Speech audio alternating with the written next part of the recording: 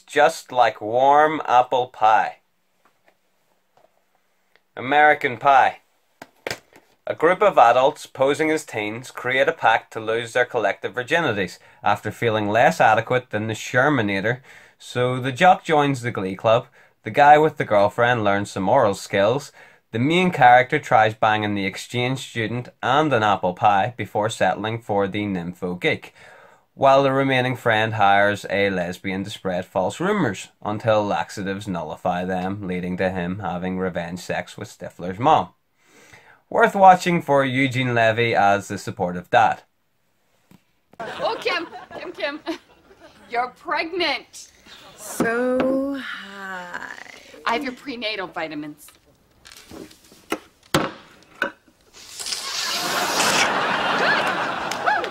Bloodstream.